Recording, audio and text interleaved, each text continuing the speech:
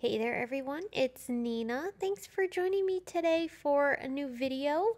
I'm going to be using some products from Simon Says Stamp's brand new Good Luck Charm collection. And in addition to that, I'm also participating in the Good Luck Charm release blog hop.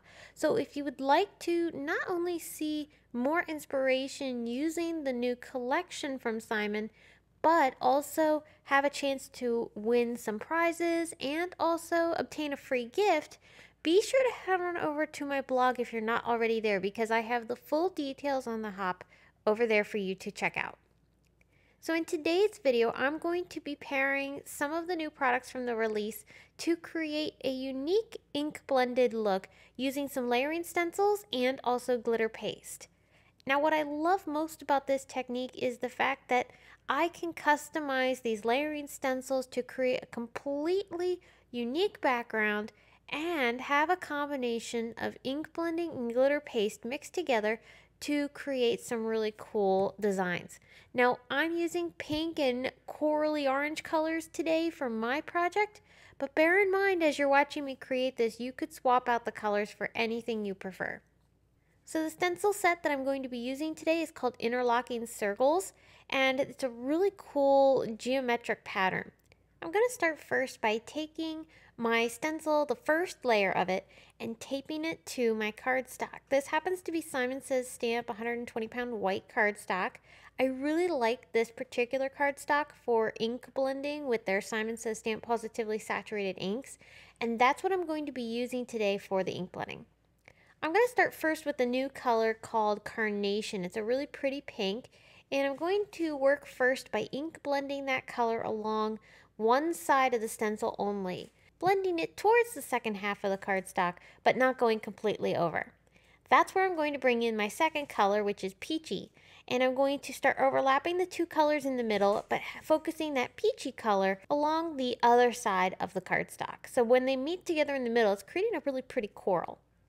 I'm going to finish up the stenciling on this layer, then remove the stencil to reveal the design. It's really pretty, but we're going to step it up even more.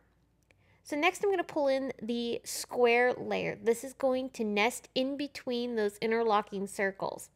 Again, I'm keeping that tape in place to be able to hold the stencil so it doesn't shift while I'm working. We want to make sure that these are layered up very evenly. Now I'm going to reverse the colors. Instead of putting the peachy color where I had the peachy before, I'm now sticking it on the opposite side where the pink is.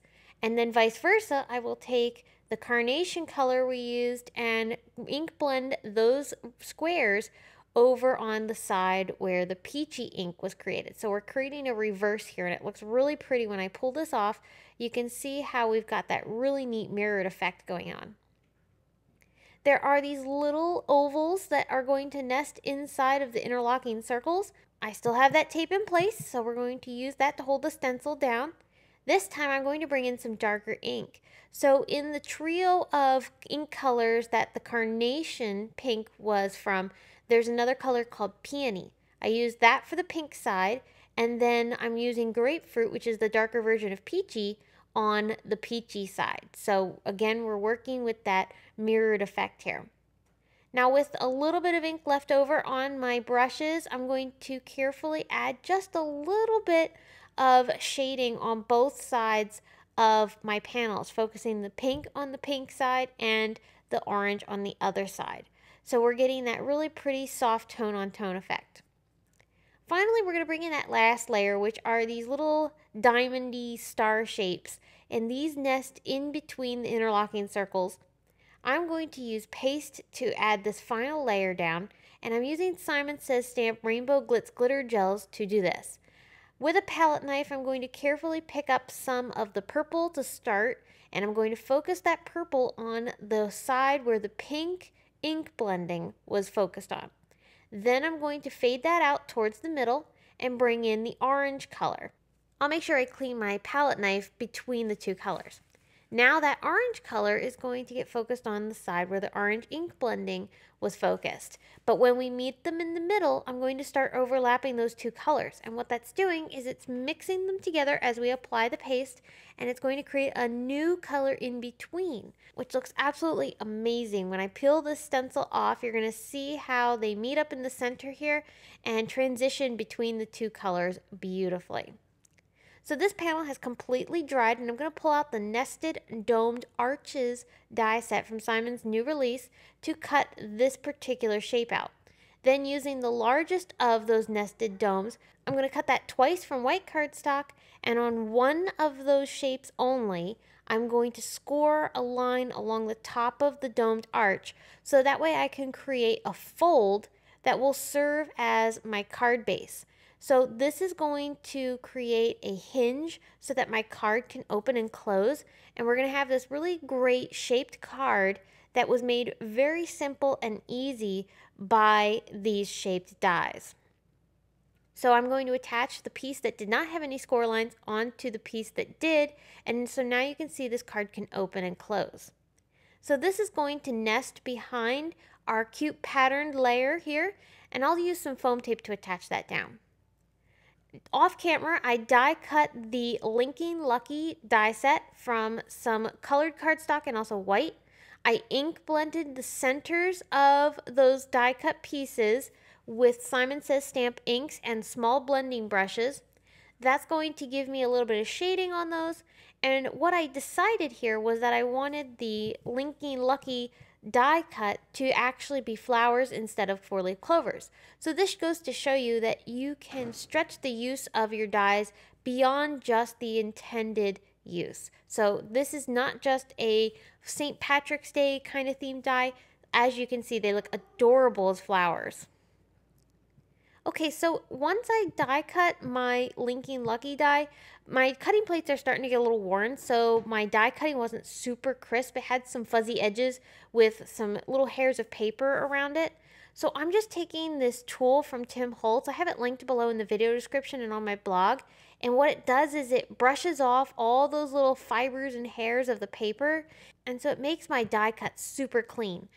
And then I just brushed off that hair that was left behind on my little foam mat into my trash can. Okay, so on the center portions of this clover die, I'm going to put some craft tacky glue. But that glue is only on those center portions. The reason I did that was because I wanted to be able to pop the ends of the clovers up. So it made them cupped a little bit. They have some dimension and that's going to help give my flowers some dimension too. I'm adding little tiny foam dots on the back sides of each petal of my little four leaf clovers here, which are now flowers.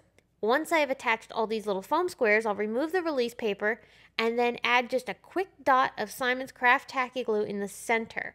So what we're going to do is when we put this down onto our cardstock, the craft tacky glue is going to adhere the die cut flush to the cardstock, but then the foam squares are going to lift those petals up. So again, we're creating some dimension here, and it's going to give these flowers a lifelike appearance and also give them some nice separation from the background.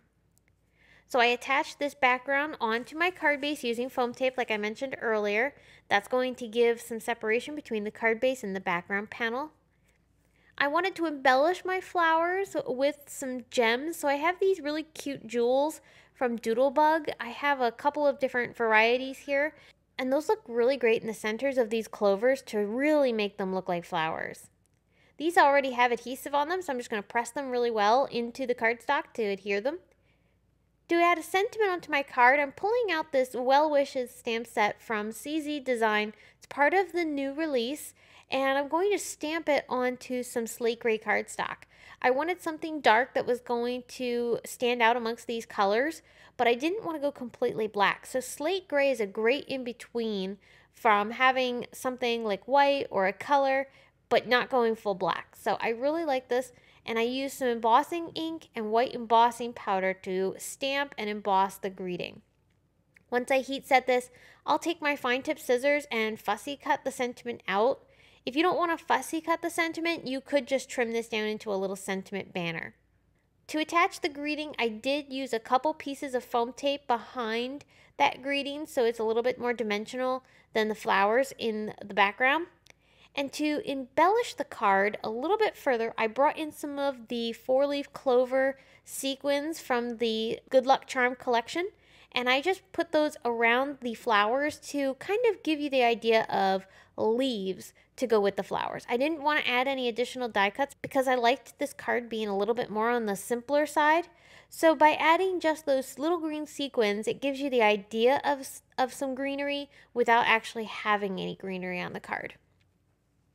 I absolutely loved how this turned out. From the shaped design to how the inks mixed together with the paste, and then of course, really stretching that four-leaf clover die and turning them into flowers, that really made my day.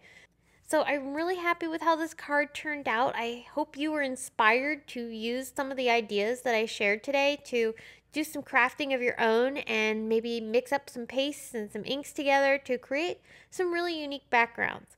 Layering stencils are a fun way to be able to combine these products and give your stenciling a completely new look.